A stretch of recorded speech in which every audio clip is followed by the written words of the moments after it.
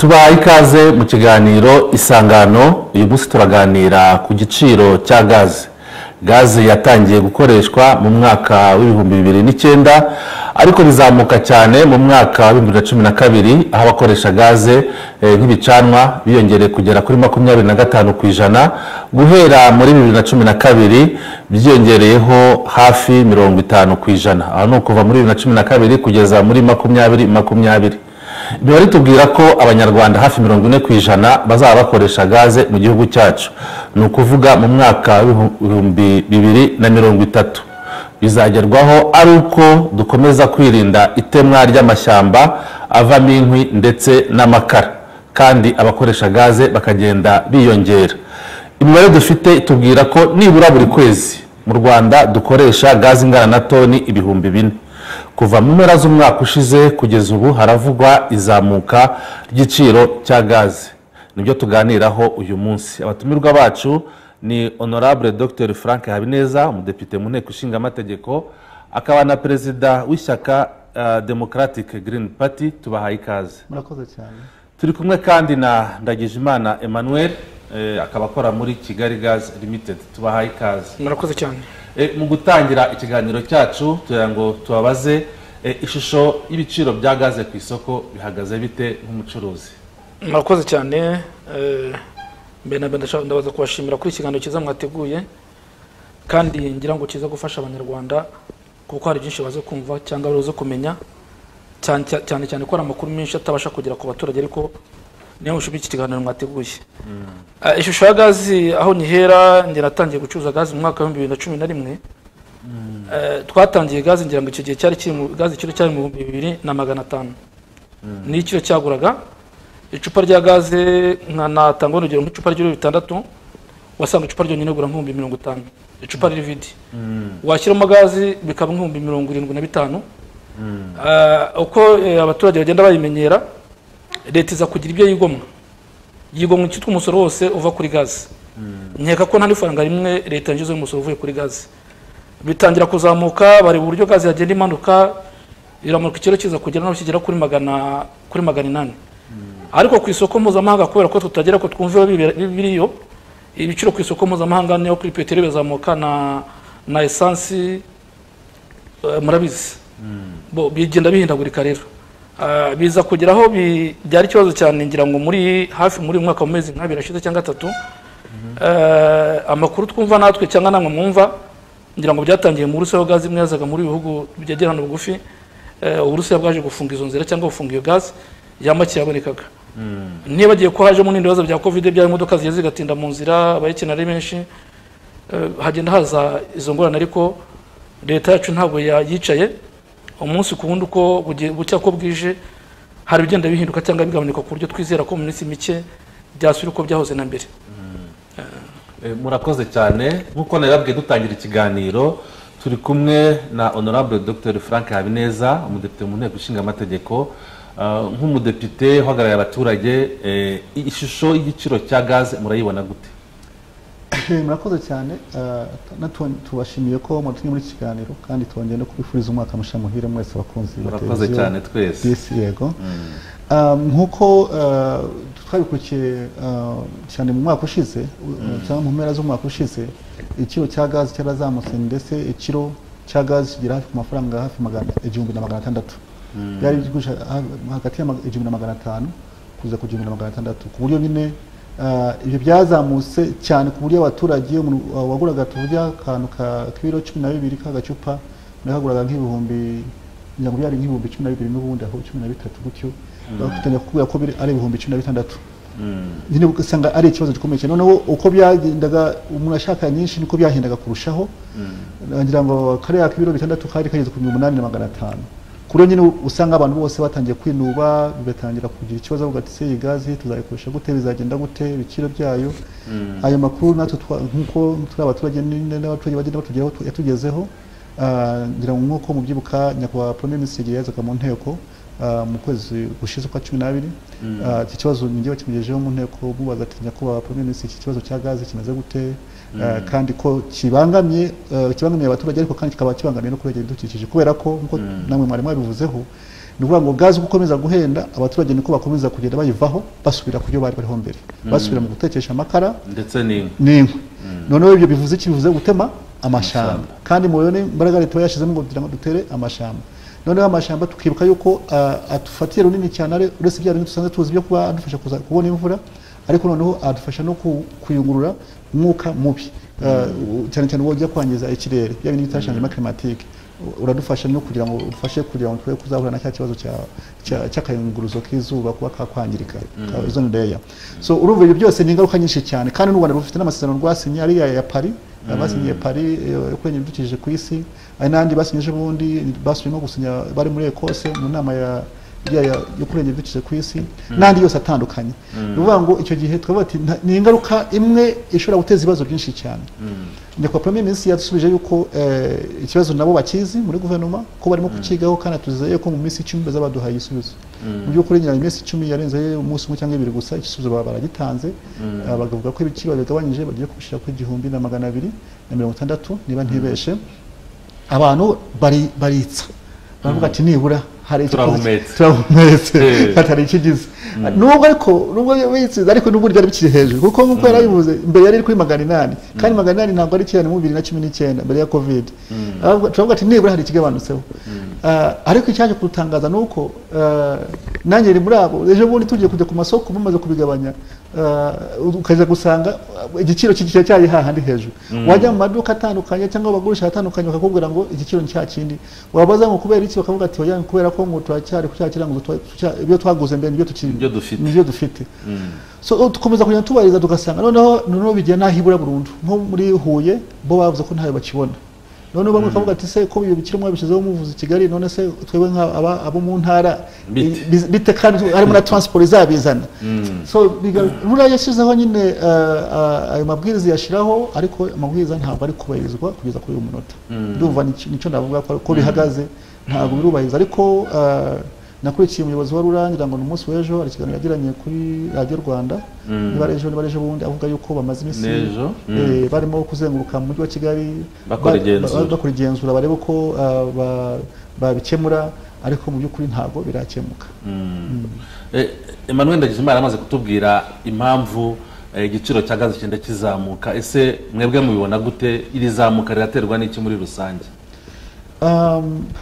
Icya mbere ikibitera ni uko tudafite ububiko. Mm. ndumva ni cyo kibazo cya mbere dufite mu rwanda. Ntabwo turagira ububiko bwacu cyangwa buhagije. Niyo waba bunahari ni buke ntabwo buhagije ni butoya. Tuba dukeneye ibigega bihagije nk'uko tujyana ibigega bya esanse dushobora kubika esanse dushobora kudutunga amezi atatu tukajya n'ibyo bigega. Byashobora kubika iyo gazi ku buryo tutagomba guhangayika ngo habaye ikibazo mu burusiya ngo natwe bitugiraho ingaruka. Noneho ikindi numva ni uko n'ubundi iva kure. Urumva iva kure tugomba kuyikora za Salaam n'ahandi hose eh, n'iyo iva i Burayi urumva harimo urugendo rurerure. Ariko nkumva n'ubundi eh, tugize ibyo bigega byadufasha ariko kandi eh, tukanaprofita ni- na- n'imitungo kamere dufite nk'igihe bavuga gazi metani muri Lac Kivu. Ubushakashatsi barabukoze ariko babukomeza bakabukora bakabuhihutisha kuko n'iriya gazi metani twayibyazamo gazi yo guteka kuko bavuze ko ushobora kubamo amashanyarazi ariko niba havuyemo n'iyo guteka byadufasha ariko hari na za nyiramugengeri n'ibindi byose byose tukabireba. Ku buryo noneho twagira iyo diversite noneho gazi ikaba yaboneka mu bwinshi noneho n'igiciro kikagabanuka Ah, none icyo gihe ni bwo abantu ba- ba- ba- ba- rwose bagira icyo bita mind change bahinduka imitekerereze yabo baka- bakaba bumva ko nta mpamvu yo gutekesha amakara. N'ingwa Eh, murakoze cyane kuri ibyo bisobanuro muduhaye. Mu buryo bw'ikoranabuhanga turi kumwe na minisitiri mujamara jeanne d'arc akaba ashinzwe eh, kurengera ibidukikije.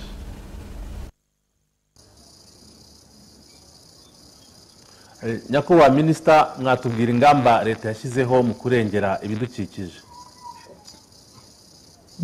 Murakoze cyane. Eh, hari ingamba nyinshi leta yashyizeho mu kurengera ibidukikije. Icya mbere na mbere kuba leta yarashyizeho politiki n'amategeko byo kurengera ibidukikije. Icya kabiri ah, hari ugushyiraho inzego n'ubushobozi bwo gukurikirana iyubahirizwa ry'ayo mategeko.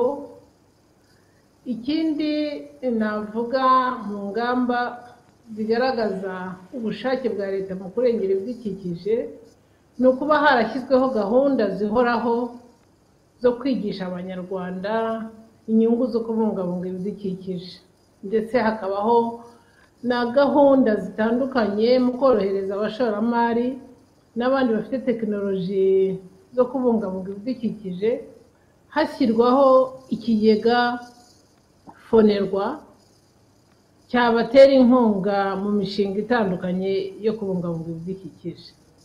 Ikindi navuga kigaragaza ingamba za leta mu kubungabunga ibidukikije ni ukwifatanya n'amahanga mu gusinya amasezerano mpuzamahanga kugira ngo tubashe gukemura ibibazo ndengamupaka bijyanye n'ibidukikije.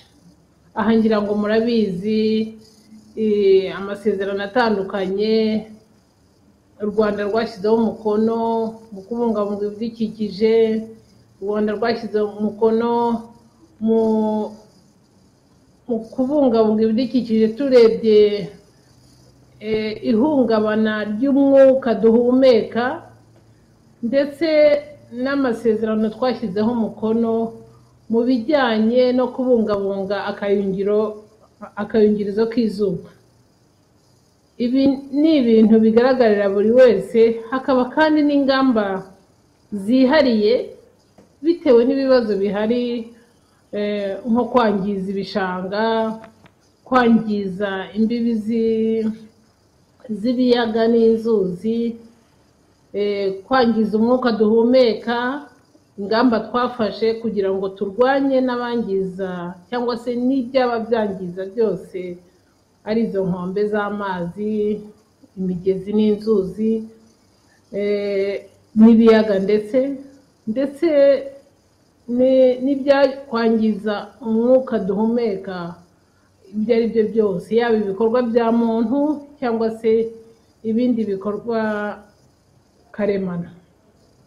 Ndetse n'ibyangiza cyangwa se abangiza amazi.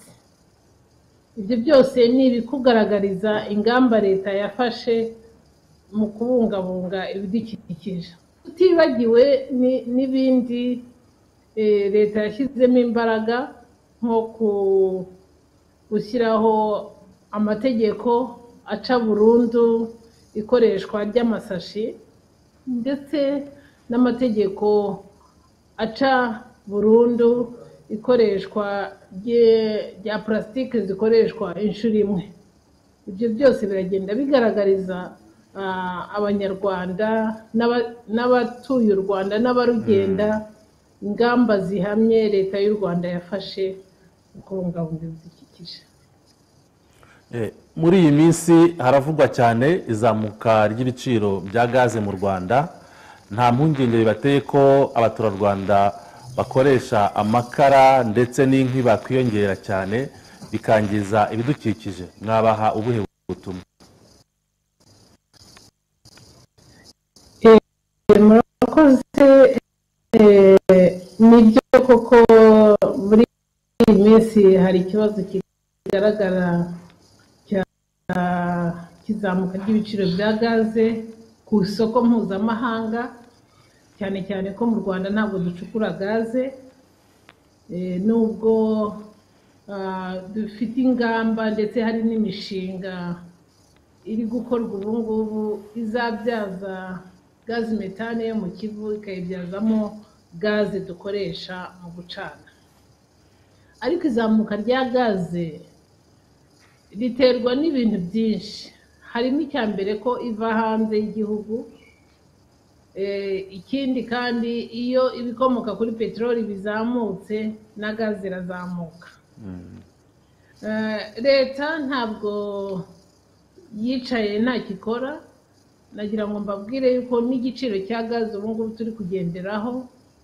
Leta yakoze hari ibyo yigomwe hari ibyo yigomwe kugira ngo icyo giciro kitazamuka. Ngira ngo nko mu minsi ishize mm, hari ibyo eh, ibyo leta yakoze kugira ngo igiciro cyongere kigabanuke mu gihe abantu bari gukora ibishoboka byose inzego zose bireba ari abikorera ari leta n'abandi bafatanyabikorwa kugira ngo twungurane ibitekerezo dushyireho igiciro.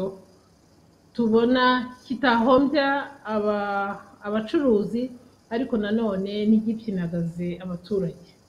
Leta rero irakora ibishoboka byose ngo ibiciro bimanuke harimo n'ishyirwaho ry'ikigega cyangwa se icyo navuga mu ndimi z'amahanga strategic reserve ya gazi ngira ngo ah, aba- ababikurikira ubu ngubu dufatanyije n'abikorera hari kubakwa strategic reserve isororo izafasha guhunika gazi yakenerwa nibura mu mezi atandatu mu mezi umunani hamwe no gukorana ne- n'abandi bikorera bari hamwe no gushyiraho uruganda ruzakora gaze icanwa bivanye muri gazi metane gushyiraho uruganda ruzakora gaze izakorerwa hariya i karongi ku kivu. Kugira ngo dushobore no guha gaze bariya abantu banini banini ba- bacana gaze nyinshi. gaze bizadufasha nk'inganda zicana gaze nyinshi. amashuri. Abantu bose bakenera gaze nyinshi ndetse n'abanyarwanda muri rusange.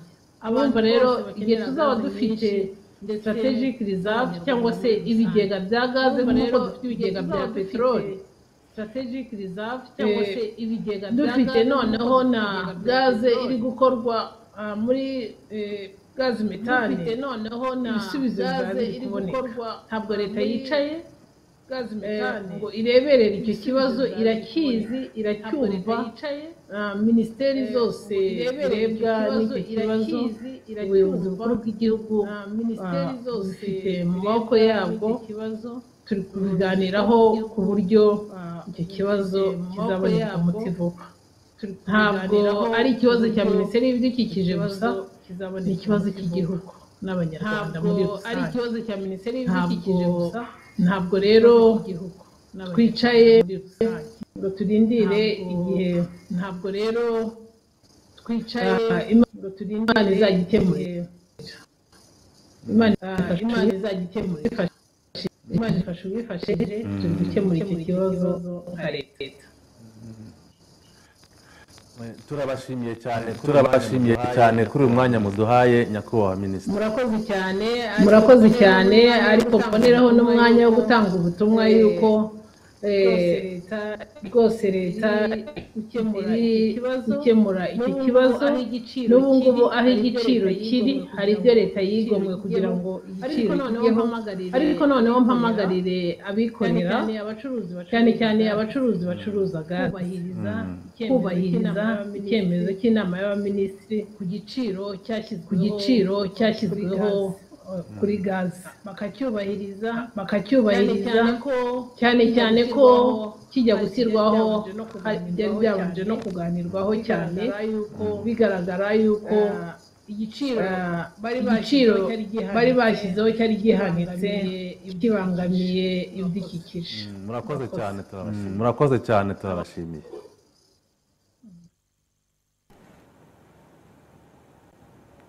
twongeye kubaha ikaze mu kiganiro isangano twaganiraga na minisita mujawamariya jeanne d'arc. Abifuza kuza kubaza cyangwa se gutanga ibitekerezo mu kiganiro isangano murahamagara zeru karindwi umunani umunani mirongo itatu na rimwe mirongo irindwi n'icyenda cumi n'icyenda. Abaturage baravuga ko gaze ihenze abacuruzi bamwe bakavuga ko nabo bari gukorera mu gihombo. Ese namwe niko mubibona? Mbere na mbere nagira ngo tubanze twumve eh, ibintu kimwe kuko ubona abantu baza gusobanukirwa byinshi.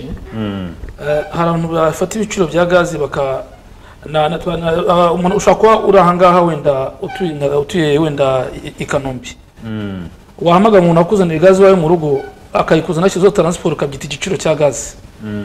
Wamara kuri igiciro cya gazi niba gazi ihagaze wenda tubona uyu muntu atatugurisha eh, nka gazi y'ibiro cumi na bibiri ni ibihumbi cumi na bitanu n'amafaranga ijana na makumyabiri. Ugiye ku mashopu ya za yesi gazi kigali gazi yesi kobire mu gihugu hose. Noneho umuturage yajya muri karitsiye ahura n'umuturage ucuruza kuri botiki ya gaze akamucuma makumyabiri cya cumi na birindwi cya cumi n'umunani yahura na ba honorable abangaba bamugezeho ikibazo cyabo nk'abaturage bakumva ko ikibazo cyabaye kirekire ntabwo ariko bimeze. Ni ukuvuga ngo eh, icya mbere ni ukeneye kuba wakoze na gaze mu rugo hariyongera amafaranga ya taransiporo byite gaze niba uvuga ko ukajya kugura gaze muri karitsiye ahantu moto itagera cyangwa hagera moto cyangwa hagera igare barashyira bwa bwikorezi. Nubura na wa muntu wayihagejeje nawe ashyireho ya mafaranga arenzaho byitirirwe gaze nkanakungura abanyarwanda rero ikintu kimwe. Tv ten alo mwiriwe mwiriwe mwiriwe yego. Eh, ikibazo cyawe? Ah, ibiciro bya gaze birakomereye Mm. kuko usanga ntabwo mu gihugu ntabwo biba kimwe nko kuba nabivuze Mm, vuga cyane ntabwo turi kukumva. Eh? Vuga cyane ongera ijwi. Alo turakumva ongera ijwi. Ah, alo?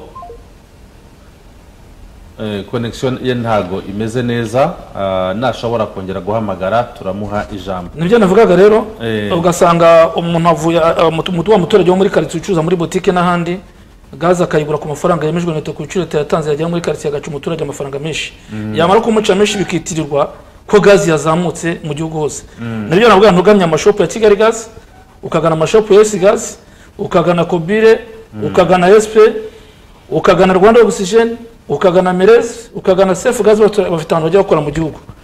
Ngira ngo ejo twari turi mu nama ziboko natwe ntabwo twicaye twabwiye ngo bamanike n'ibiciro byabo bashyiraho nimero za telefoni za rura n'iz'abazicuruza ni ikibazo rero ndabona mu mujyi nk'aho turi n'abari mu nkengero eh, twagize amahirwe hari abashoramari hano bashyizemo ingufu nyinshi navuga nka esipe umuturage nimba ari icyangugu ntagomba kubona gaze ku mafaranga igihumbi na magana mirongo itandatu. Uti gute esipe mu mujyi wa, cyangugu ifite amasitasiyo ngira ngo agera muri abiri hari amacupa ya, gaze bacuruzaho gaze umuturage basanga akugeraga na za, za kampani zizwi zitari umuntu wagiye gu, guprofitira muri karitsiye ahari.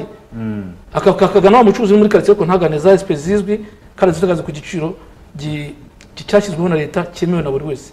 Musanze ni uko ruhengeri ni uko hose hajya hajya masikidi natwe turimo turashaka ubuso bwo kugira ngo tugende dushyira amasikidi aho dushoboye turageze gaze ku baturage ku buryo icyo giciro eh, leta yashyizeho cyane. Ko twizera ko mu minsi mike ngira ngo harimo iki cyumweru. Mu kindi bavuga ko niburayi batakiri gukoresha gaze cyane kuko hatangiye gushyuha. Nkeka mwumvishe ko nawe yabivuzeho yabivuzeho neza avuga ati hari amasezerano yose gusinywa hari ibigega bigiye kubakwa na minisitiri abivuzeho. Numva ari mu minsi mike rwose ntabwo navuga ngo bacika intege kuko ni akantu gato kabaho. No kuri ese ubundi ko kuri gaze kuri esansi na mazutu iyo byazamutse ku modoka zisakuza. Babishyiraho tukabigendaho ku minsi mike bikongera guhinduka. Numva rero batacika intege rwose mu minsi mike gaze igasubira ku biciro byiza dufite icyo cyizere. Mm.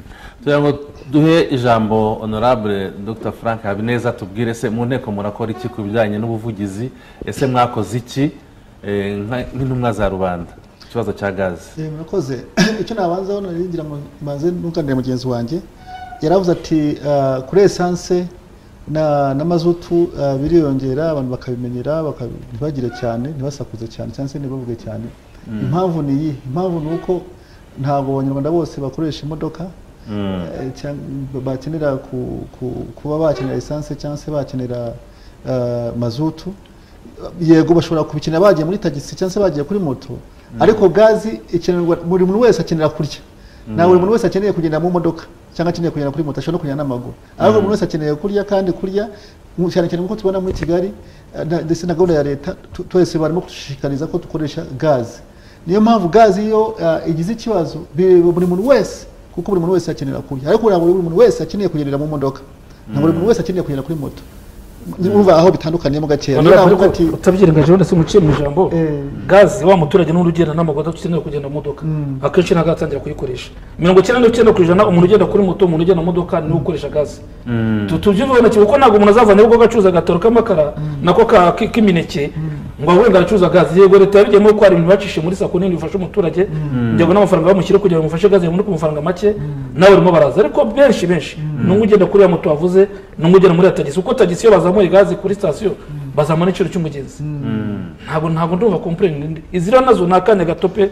Ni akanya gato nkeka ko bitazana ukwezi kwa cyangwa iminsi mike bikurikiye amakuru dufite ibiganiro biva mu bacuruzi b'imporo gaze ari iminsi mike. Reka twizere Wari ko ugifite ijambo, sinzi niba warangije. nari ngifite murakoze cyane. Eh. navuga ati warumvaje ati se iki twakoze? Icya mbere ni icyo iyo ijambo yavugiwe mu nteko ishinga amategeko cyane bikavugwa ri- ribazwa eh, umuyobozi mukuru cyane nka premier minisitiri eh, ndetse icyo urumva icyo gihe inteko iba yagize ikintu ikora kandi noneho ibyo premier minisitiri yavuze bikashyira mu bikorwa niyo atabishyize mu bikorwa hari uburyo inteko ubundi ishinzwe gukurikiza kureba uko ibikorwa bya guverinoma byubahirizwa cyangwa se gukurikirana imikorere ya guverinoma na yo dushobora gukurikirana tukareba eh, ese kino kibazo ko kiri muri sosiyete ese ko eh, guverinoma yavuze iki n'iki bimeze bite? Ariko navuga kugeza kuri uyu munota eh, ikikenewe ubu ni uko ibyo guverinoma ya- yavuze ariyo rura muri uyu mwanya bishyirwa mu bikorwa ni cyo kintu gikenewe cyane kandi noneho ntabwo inteko iri mu nzego nyubahirizategeko hari abashinzwe kubahiriza itegeko kubahiriza ayo mabwiriza bayashyire mu bikorwa urumva rura ifite abafatanyabikorwa bayifasha kugira ngo ayo mabwiriza yashyizweho ko yakubahirizwa ndumva ikintu cyo cya mbere cyakorwa ikindi natwe nk'intumwa za rubanda n'ubundi turakomeza gukora ubuvugizi na n'ubu ni byo turimo hano kuri televiziyo disi kugira ngo n'ubundi ikibazo kigihari abashinzwe kubishyira mu bikorwa bacyumve babe bagikemura mu maguru mashya numva nabo nabo nubwo navuga ngo ni inteko yantumye hano ariko n'ubundi ndi intumwa ndacyatumika kandi ndatumikira abanyarwanda yuko nsaba yuko bino ah, bibazo bya gazi bikemuka vuba na bwangu Eh, murakoze cyane. Eh, twibutsa abadukurikiye ko bashobora kubaza cyangwa se gutanga ibitekerezo. Ni uguhamagara zeru karindwi umunani umunani mirongo itatu na rimwe mirongo irindwi n'icyenda cumi n'icyenda. Hagati aho witwa jean kagurube aravuze ati kuki mu rwanda tutacuruza gaze nk'uko wasake icuruza amazi mu buryo bw'amatiyo anyura mu mazu? Ah, icyo ni kimwe. Witwa ah, niyo twagira ive ati mutubabarire mutubarize impamvu sefe gazi igurisha ku giciro kiri hejuru igihe cyose.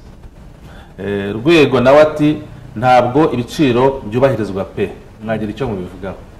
Navuga ku cyambere ku kijyanye na na nuko kuki leta itacuruza gazi nk'uko uh, wasaka icuruza amazi. Ndakeka ko bikeneye infrastructure bikeneye ibikorwa remezo uh, biba bisaba ko kuba kwa ayo matiyo ariko ariko biranashoboka ko nko mu midugudu mishasha arimo kubaka arese niyo yubatswe mbere y'uko haho amatiyo yakubakwa. Noneho abantu bakaba connecte bano bagakora amapiganwa ba makampani zakavuga ati niba ari Nyarutarama Kigali gazi zajyayo niba ari Gacuriro Bagafata, eh, bafata imidugudu. imidugudu eh. kuko ni burayi ntabwo buri komine cyangwa se buri mujyi ugira abantu bawuhereza iyo gazi ntabwo ari ukuvuga ngo ni sosiyete imwe mu gihugu yose itanga ahantu hose. Birashoboka cyane nuba ntabwo ari sosiyete zigeza ku icumi niyo za- niyo zagabana uturere. Cyangwa zikagenda zigabana uh, umujyi ibice n'ibice n'ibice gutyo birashoboka cyane. Ariko ni infrastructure ikomeye cyane nuba tutarayigeraho bizakenera iyindi genamigambi rya- kugira ngo bibe byagerwaho ariko birashoboka cyane.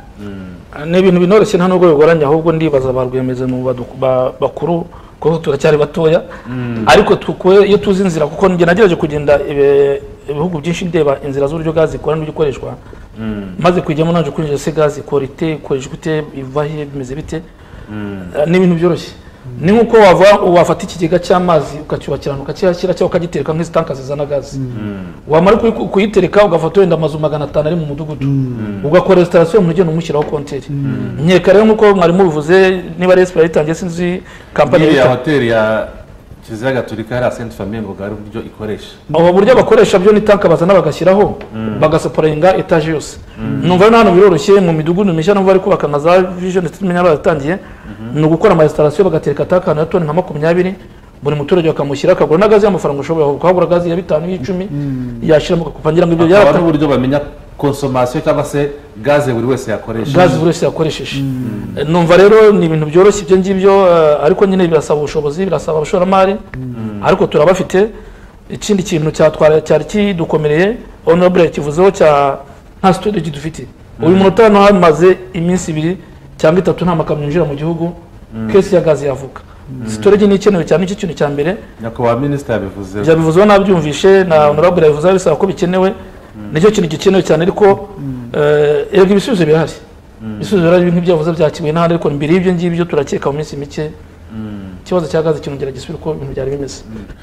Ese mwaba mufite ihuriro muhuriramo nk'abacuruzi ba gaze kugira ngo muganire ku bibazo muhura na byo mu bucuruzi bwanyu ndetse eh, n'uburyo mushakira ibisubizo ibibazo bigaragara? Navuga ko hari hari amahuriro atatu. Hariho rihuriyeho abamporotatieri bakora gazi hanze bazikura za tanzania na za mombasa. Hariho rya ba dirazi ari naryo ndimo. Hari n'ihuriro ry'abadandaza aba bacuruza kamwe kamwe dufite eh, uburyo duhura tukavugana ku mbuga dufite imbuga duhuriraho. Cyane ko n'ubu ngubu ni bwo twicaye abantu bagenda bakora amakosa yo gufata bakajya guhenda abaturage bitewe n'aho basanze. Tugeza no kubavugisha tukanagera amahuriro turafite dufite amahuriro atatu. Bitewe n'uko inzego za- z'abacuruza gazi zitandukanye. Eh, nyakubahwa uh, mu kanya bavuze ku byerekeranye n'ubugenzuzi budako- budakorwa. Bugatuma abacuruzi bamwe barenga ku giciro cyagenwe. Ese murateganya gukora iki kugira ngo ubwo bugenzuzi bushyirwemo imbaraga? Ubugenzuzi nyine ah, ubifite mu nshingano zabwo ni rura rura niyo ah, ishinzwe imirimo y'igihugu kugira ngo ifite akamaro. Ni na yo ishyiraho ibyo biciro uretse n'ibya gazi n'ibindi biciro bya transport n'ibitandukanye n'amateleviziyo n'amaradiyo ngira ngo niyo ibishinzwe. Ni ukuvuga ngo rura ah, na- nari bivuzeho mu kanya yuko ah, ntabwo yakora yonyine. Kuko mu ru- nubwo ari urwego rushinzwe gushyira mu bikorwa ibyemezo bya guverinoma ariko rufite abafatanyabikorwa muri abo habubikwamo polisi habubikwamo ba daso n'abandi bose batandukanye. Ubwo nari mvuze ubwo mu buryo bwo kubahiriza amategeko. Ni ukuvuga ngo eh, yareba niba hari eh, ibyemezo runaka bya- bya- byafashwe bya- byakurikirana gute kugira ngo byubahirizwe. Hari aba badirazi hari n'aba ba- n'abaimportateri abo ni bamwe ni ku ruhande rumwe ariko noneho babona gukurikirana barebe ko nta kintu babyubahirije ngo bishobora koroha noneho ba bandi noneho ba ba bandi bacuruza bo ku rwego rwo hasi abo abo nibo bishobora kugorana kubera ko baba bari ahantu hatandukanye mu za karitsiye n'ahandi hose ku buryo ko buri muntu wese yahagera ariko aho hose muri karitsiye daso ibayo Byiza ko nta hantu wagira ntusange hose irahari no ku mirenge no ku mirenge irahari Eh. ku buryo nyine eh, rura ishobora gukorana na za daso ubwo daso ni urwego rwacu twemera rwashyizeho na leta kugira ngo dufashe mu umuke- umutekano na- n'uyu nawe ni umutekano erega kandi kuko ibi bikomeje kuba ikibazo na yo bigaragariza isura itari nziza kuri leta ni ukuvuga ngo ba daso bafasha rura bakareba ibintu ntabwo biri kubahirizwa kubera iki Ah, kugira ngo ibintu ibyemezo byashyizweho byubahirizwe. Kuko mu by'ukuri icyemezo cya leta ntikifashwe nticyubahirizwe ni ikintu ntabwo ari ikintu cyiza. Ni ikintu kigaragaza isura mbi cyane. Kigaragaza intege nkeya ku rwego runaka. Eh, n'abaturage bagombye gutanga amakuru aho babonye ibinyuranye barayatanga ariko abaturage barimo kuyatanga ni uko abo bayaha badashaka kuyumva. Barayatanga niyo ureba kuri komanteri aho ibinyamakuru by'ikwanika abaturage barimo kuvuga ibintu bitandukanye baratanga za komanteri nabo barimo kubivuga ku maradiyo kuri mbuga nkoranyambaga abaturage baravuga. Mu kanya turaza kubumva. Mm. twibutse abadukurikiye ko turi mu kiganiro isangano turaganira ku giciro cya gazi abifuza kubaza cyangwa se gutanga igitekerezo mu kiganiro mwahamagara zeru karindwi umunani umunani mirongo itatu na rimwe mirongo irindwi n'icyenda cumi n'icyenda. Dutegereje abifuza kugira uruhare mu kiganiro mushaka gutanga ibitekerezo cyangwa se ibibazo namwe tukabaha umwanya. Mu gihe dutegereje ushaka kubaza cyangwa se gutanga igitekerezo baravuga nanone ikibazo cyerekeranye n'amacupa. Ibura ry'amacupa atwarwamo gaze nk'abacuruzi murabifata gute murabikemura gute? Amacupa y'amavide cyangwa? Amavide ntabwo amacupa y'amavide abura ku isoko. Umugore ngo umutura umutura ukeneye gukoresha gaze bushyashya. Amacupa arahari rwose ku bwinshi ahagije. Gusa nagira ngo nsubire inyuma gato abaturage nibaza no wenda abatanga ibitekerezo cyangwa abatanga ibibazo. Mbere na mbere ni barebe kampani zizwi zicuruza gaze zizwi. Cyane ko kampani ziri mu gihugu nyinshi zicuruza gaze rura ifite data zazo. Bantu tudafite data zabo bo bacuruza batazwi cyangwa banacuruza mu makaritsiye hirya ku ruhande nibo bagenda bagahenda umuturage. Niba ugiye kugura gaze eh, eh, kigali gaze niba nkorera ahangaha uvuga uti nagiye kuri kigali gaze gaze banca amafaranga arenze ayo leta yashyizeho itegeko cyangwa ibiciro leta ya- ya- leta yashyizeho. Ibiciro byemewe. Niba ugiye muri yesi gaze uvuga uti uyu muntu yampaye gaze ku giciro kitemewe niba ugiye muri esipi ariko nugenda ukamera nk'ugiye kujya kugura sinzi uko bajya babyita gu- kugurira mu gikari ahantu hatazwi. Ibyo bagukorera ukaza kubitangaza ngo habaye iki? Rwose witurenganya gana amasitasiyo gana ama- amashopu azwi. Nusanga baguhenze uhamagara idirishya tubwira n'abacuruzi bagenzi bacu gushyira nomero za rura. Bakazimanika bahamagara rura ku giti cyabo. Nk'uko ujya kuri rwanda biravuga ngo usaba inyemezabuguzi umuturage nawe niba ukora uti magaza aha n'aha ah, uvuga uti nanjye kugura gaze ariko ibiciro wampaye biri hejuru y'igiciro cyatanzwe na leta cyangwa na rura. Ni uburenganzira rwose umuturage arabufite n'urundi rwego yakwegera impande ye rwamufasha ariko nagira ngo nsabe abacuruzi bagenzi banjye cyane ko iyi kesi twagiyemo ni kesi iri sipesho ntabwo ari kesi isanzwe. Buri munyarwanda wese agomba gutanga cyangwa buri mucuruzi wese agomba gutangamo umusanzu we. Kuko niba gazi iri kuzamuka atari ko tubiteye ni nkaho ari ni urugamba ru- ru- ru- rwaje tugomba kurwana twese tukarafatanya kandi munsi mike tukabona turusohotsemo tugasubira mu buzima busanzwe bwa gazi ikabona ku mafaranga make kandi icyizere kirahari kinini nabwo ko tugana n'abakora gazi Dar es Salaam hari nabo natwe tuvugana nabo Eh, ngira ngo nta n'iminsi iri munsi y'icumi rwose hatagize igihinduka uburyo turimo tubyumva. Numva rero tutakabaye tubitekerezaho byinshi ibyiza biri imbere.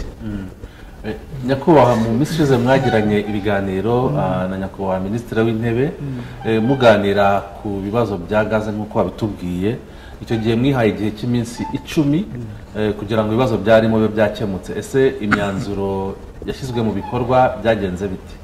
Icyo navuga ni uko eh, eh, nyakubahwa minisitiri w'intebe yari ari mu nteko. Eh, iyo komitimenti yiwe cyangwa se icyizere yatanze y'uko mu minsi icumi bizaba bikemutse ndumva cyarubahirijwe. Eh, hashobora kuba hararenzeho umunsi umwe gusa cyangwa se ibiri ariko kuko bya- yarageze ya minsi icumi ngenda bara ndavuga ati bigeze he? Mbona igihe gitoya biba birakunze. Ndavuga ati nibura. Eh, ntabwo yatubeshe yubahirije ibyo yijeje abanyarwanda kuko iyo yari utabyubahiriza twari kubifata nabi cyane. Ubwo noneho bisigara bi- bigiye mu maboko ya rura kugira ngo yo ishireho eh, za detaye de- detaye za rura eh, zijyaho turazibona eh, noneho zimaze kujyaho dutegereza ko zubahirizwa. Yego hari aho byubahirijwe. Ntabwo ko hose bitubahirijwe. Eh, kuko narakurikiye muri kigali usanga hamwe abantu batangiye kubyubahiriza. Ariko hari ahandi ahenshi ntabwo babyubahirije. Ariko bari hamwe babyubahi- babyubahirije. Ubwo eh, ibyo bitangiye kujya bimenyekana na byo twakomeje kugenda tubigaragaza n'abandi banyarwanda benshi cyane muri rusange barabigaragaje. Eh, kandi nk'uko mwabibonye ejo bundi eh, rura na yo yatangiye gukora guhaguruka gukora igenzura na byo byaranshimishije kuko hari ikiganiro twagiranye n'umunyamakuru wanyu hano kuri radiyo disi ndumva hari kuwa ka- kuwa kane ngira ngo Ah, tubivuganaho nyuma yaho bukeye mbona ah, mbona abayobozi ba rura bahagurutse ndavuga ati ni byiza cyane ibyo ari byose ubutumwa tuba twagaragarije eh, abayobozi barabwumva ntabwo ntabwo ba- bashyize ibiti ah, baf- mwavuni ntabwo baba- ntabwo babonye ibiti mu matwi baba bumvitse nyine bakahaguruka urumva birashimisha so navuga yuko nkurikije ibyo nabonye Rura uko yahagurutse tumaze kubigaragaza n'abaturage bamaze kubigaragaza biram- birampa icyizere yuko nk'uko yagaragazaga yuko maybe mu minsi iri imbere bishobora gukemuka ariko navuga kugeza kuri uyu munota turi hano itariki ya ya munani. z'ukwa kwa mbere makumyabiri na kabiri ntabwo birakemuka biracyameze kwa kundi ntabwo birakemuka so turifuza yuko rwose bitangira itariki cumi n'eshanu bikimeze kwa kundi. Ko byakemuka Eh, turizera ko bizakemuka kandi abayobozi bari birimo abacuruzi nabo eh, barashaka gushyira mu bikorwa iyo myanzuro ndetse bakirinda gushyiraho ibiciro bitateganijwe. Eh, twibutse abadukurikiye ko turi mu kiganiro isangano ikiganiro cyacu kirakomeza mu kanya nyuma y'akaruhuko.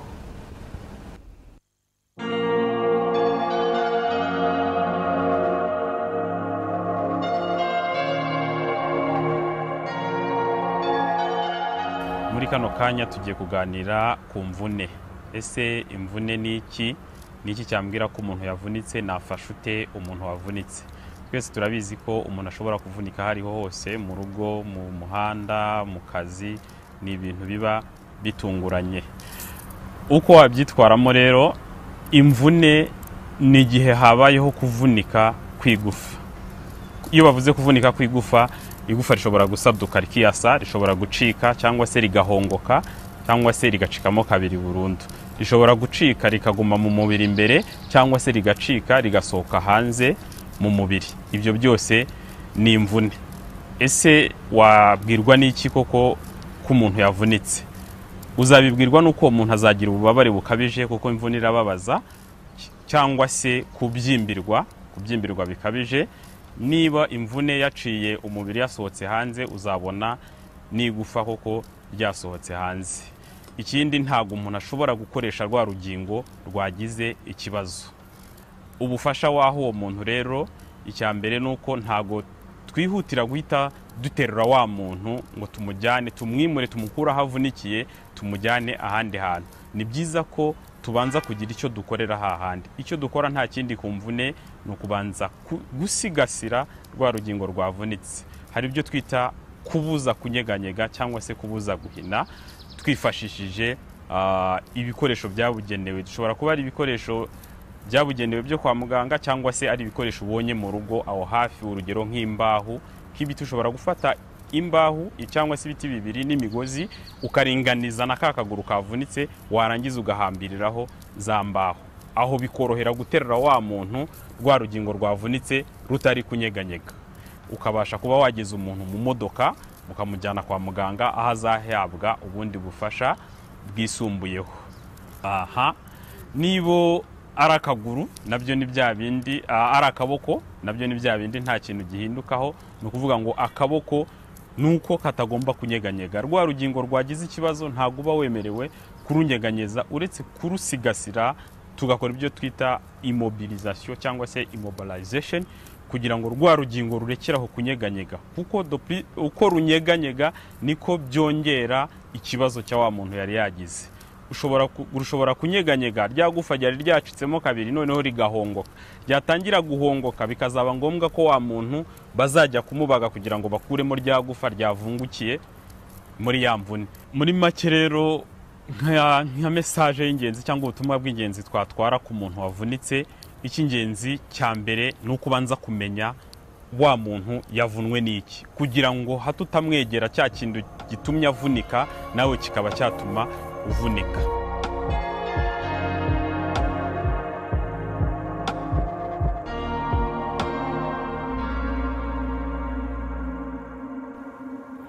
Twongeye kubaha ikaze mu kiganiro isangano turaganira ku giciro cya gaze turacyari kumwe n'abatumirwa bacu. Muri uyu mwanya kugira ngo twumve icyo abaturage bavuga ku iyubahirizwa ry'ibiciro bya gaze mu minsi ishize ni bwo ikigo ngenzuramikorere cyari cyatangaje ko guhera tariki ya cumi na gatanu ukuboza ibiciro bya gaze ikoreshwa mu guteka bigomba kumanuka maze ikiro ntikirenze igihumbi magana abiri mirongo itandatu ku muguzi wa nyuma n'igihumbi magana makumyabiri ku ruganda rushyira mu macupa. Ubwo radiyo tv ten yaganiraga n'abaturage bo mu bice bitandukanye by'umujyi wa kigali bavuze ko ahenshi bagurira gaze nta mpinduka yabayeho ku giciro cya gaze nk'uko byari byagenwe. Hariho rwose ibiciro biri hejuru. Ni ukuvuga ngo hari aho usanga iyo y'ibiro bitandatu bayigurisha ibihumbi icyenda. Kandi urumva ko bara- barayimanuye bavuze ati "Iyi igomba kugura birindwi magana atanu na mirongo itandatu n'angahe? Muri karitsiye y'ibiro cumi na bitanu iri kugura ibihumbi cumi na birindwi. Niyo niyo igezeho ibiro bitandatu. Ariko mu minsi yashize ari kugura cumi n'icyenda cumi n'umunani. Ku biracyahenda baravuga ati turacyacuruza ibyo muri sitoke ntitwa twajya kurangura ngo dufate kuri ibyo biciro ngo bihari. Ntibakitwaza gutyo. Abo baturage bavuga ko banenga iki kigo ngenzuramikorere cyagennye impinduka kuri iki giciro ariko kikaba kidakurikirana ngo kimenye niba izo mpinduka zubahirizwa. Ni ukuvuga ngo iyaba babivugaga wenda bakamanuka bakaza bakagera kuri tere bakareba ko ibyo bavuga koko babishyira mu bikorwa. Ah, abana nanjye gaze narayimanitse. Narayimanitse pe. Nta mu kubera ikibazo cyo guhenda. Bikaba bivuga bibereye hejuru ariko nibamanuka ngo barebe ko byahindutse. Leta nikurikirane ireba ko amabwiriza iba yarashyizeho yagiye kuko bayakurikiza. Aho isanga bitari ku murongo ibuti ko twashyizeho igiciro iki n'iki mwumva ko abaturage nabo barimo kuvuga ko bikiri hejuru. Babashe kuba bamanuraho ibintu bigende neza. Ikigo ngenzuramikorere rura cyari cyagennye ko guhera tariki cumi n'eshanu kuboza icupa rya gaze ry'ibiro bitatu rizajya rigurishwa ibihumbi bitatu magana arindwi mirongo inani. Iry'ibiro bitandatu rikagurishwa ibihumbi birindwi magana atanu mirongo itandatu. Iry'ibiro cumi na bibiri rikajya rigurishwa ibihumbi cumi na bitanu n'ijana na makumyabiri. Iry'ibiro cumi na bitanu rigashyirwa ku bihumbi cumi n'umunani magana cyenda. Ni mu gihe iry'ibiro mirongo itanu rizajya rigurishwa ibihumbi mirongo itandatu na bitatu. Tugarutse mu kiganiro cyacu isangano aho tuganira ku giciro cya gaze Eh, nyakubahwa biravugwa ko hirya no hino rwose nk'uko nawe mwabisobanuye ntabwo ibiciro biri kubahirizwa. Eh, baratubwira ko rura yamanutse iri mu bugenzuzi ese namwe niko mubibona kugira ngo igiciro cyubahirizwe? Ese bizatanga umusaruro? Yego turumva ko bizatanga umusaruro ni- nikomeza kugenda imanuka ikagenda igenzura ariko kandi n'aba ba- bacuruza gazi bakuru abo ba Mm. dirazi n'abamportateri bose ah, ku buryo noneho ko nabo bafite aho bakorana nabo diregiti mu ntara hatandukanye. Ntabwo yo yo gukora yonyine ntabwo yakora ariko noneho igenda ireba niba ari kuri SP niba ari kuri Kigali Gaz niba ari kuri Merez niba ari hose bakagenda bamanuka bareba Mm. uko bimeze. Noneho ah, bagakorana na ziriya nzego tubaha nka za daso n'ahandi aho badashobora kugira zikaba zageraho zikareba. Byafasha none iki cyemezo kikaba cyashyirwa mu bikorwa. Ariko kandi niba hari n'izindi mbogamizi zaba zihari na zo zibe zakwigwaho gusa ikindi na ntekereza yuko n'ubundi ah, n'ubu dutekereza kuri gaze ariyo turimo kuvuga uyu munsi gusa Mm. ndatekereza ko dushobora no gutekereza ku ngufu z'imirasire y'izuba Mm. za sola kuko Mm. na zo ni ubundi buryo bushobora kuba leta na yo ya- yashyiramo imbaraga ko sola yo ntabwo ikeneye yuko tujya kuyigura hanze izuba tu- turarihorana turarifite imana yayiduhaye hakenewe infrastructure yo kugira ngo ibe ya- yashyirwaho yewe hari n'uburyo busora ishobora kuba ya- yashyirwa no ku iyo bita kuri grid kuyo na yo yagurishwa nk'uko bagurisha aya mashanyarazi ya- ya- asanzwe ya rege ah, na byo birashoboka Mm. ariko noneho no kureba ibikoresho bya solar bishobora kuza abantu ba- bashoboye bitahenze kuri budahenze biba byashyirwa mu ngo zabo bakaba bashobora gukoresha Mm. Mu bintu bitandukanye ari no kwitekesha birashoboka no kureba za televiziyo birashoboka atari ya yindi njya mbona mu giturage yo gucana gusa agatara gusa no gucaginga telefone ibi na byo tubitekerezeho na byo byose kuko na byo byadufasha mu kugabanya eh, turimo gushyira kuri gazi ko gazi yego ni uwo mushinga bavuga wo muri kivu urahari ariko Mm. ushobora kuba ari umushinga uza- uzafata igihe kuko Mm. ntabwo ari ubwa mbere uvuzwe wamaze igihe Yeah. ya mishinga ya gazi metani ivugwa ariko na n'ubu ntabwo turabona neza Umusaruro. bivugwa Ah, TV tenaro muraho neza. Yego mwitwa nde? Njyewe nitwa somani eric. Eh, Sibomana Eric uri he? Ni mu karere ka huye. Mm, watubwira ikibazo cyawe. Apo urebye si ikibazo ni nk'igitekerezo ku bigendanye ah, n'ikiganiro murimo. Mm, Eh, ikiganiro cya ku giciro cya gaze Eh, Mm, apo ah, hano mu karere ka huye nk'iki igitekerezo cyangwa se ikibazo naba mfite ku cyerekeranye na gaze mm, si uko nkorera mu karere ka huye gusa nkorera no mu byaro byo hirya no hino. Noneho ugasanga abayobozi bakuru bashyizeho igiciro cya cya gaze Mm. bagendeye ku biro runaka. Mm, ariko noneho gaze ntabwo icururizwa mu mujyi wa Huye gusa. Mm, hari n'ibindi byaro gaze igiye irimo. Ukagenda ukabaza nk'igiciro cya gaze mu by'ukuri ugasanga gaze mu mujyi iragura amafaranga make ariko mu byaro ugasanga iri hejuru. Wabaza umucuruzi utese kuri radiyo ko batubwiye bino bicuruzi uko gaze igura? Ibiciro mwe mukaba biri hejuru bimeze bite? Mm, Eh, umucuruzi akakubwira ati mu by'ukuri gaze mu mujyi ye niko igura ariko twebwe natwe tuba twakoresheje deparasoma kugira ngo icyo gicuruzwa nawe kikugereho hafi. Niba Mm. ushaka kugira ngo ukibone nk'uko babivuze genda aho mu mujyi nk'uko igiciro cyemejwe.